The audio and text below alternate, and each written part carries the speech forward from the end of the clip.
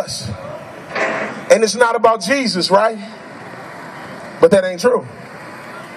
I get no kick out of this except for seeing the Lord glorified. Anything I, I get in life outside of my death is a bonus. Amen. A bonus. I done done enough stuff in this world that I should be sitting in somebody penitentiary. I should be laid up somewhere dying from a disease. Or I should be already in my grave. Or I could still be walking around in this world blind, thinking I'm living successful and chasing my tail and accomplishing the American dream, and still at the end of my life die wealthy, rich. All of my friends around me, kids, happy college scholarship funds, and white picket fences, and nice big houses, and Mercedes Benzes, and Martha Stewardesses.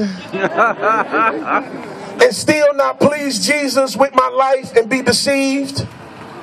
But because of the grace of God, He opened up my eyes to see that what I needed in this world was not money, was not cars, was not things, but it was a Savior. I needed a Savior. I needed to be saved from my sin. And because of that, that's why I do music right now. I get no kick out of this except for that. That's real talk. This ain't cliche. This ain't camera talk. None of that.